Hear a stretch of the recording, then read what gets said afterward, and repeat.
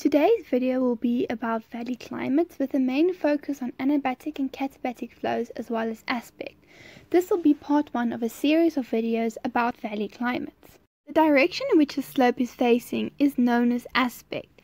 In the southern hemisphere, the north facing slope receives more direct sunlight, therefore making it warmer. Just to explain this a little bit, in the drawing you can see that there's a north and a south and the little guy is standing on the slope that is facing the north.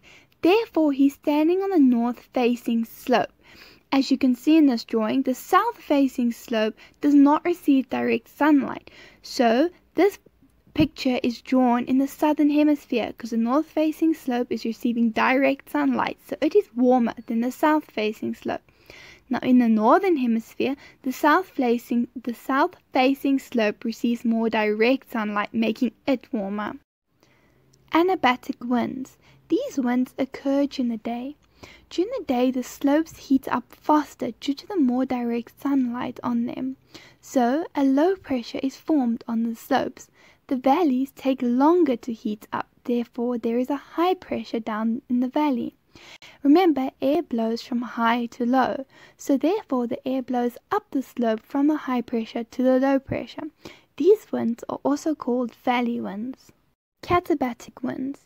These winds occur during the night. Now, an easy way to remember the difference between anabatic and katabatic is remember that cats are more active during the night, so therefore katabatic winds happen during the night.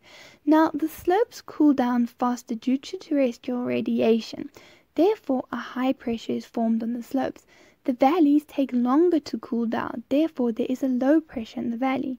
The air subsides down the slopes from the high pressure to the low pressure, therefore it blows downslope. These winds are also called mountain winds.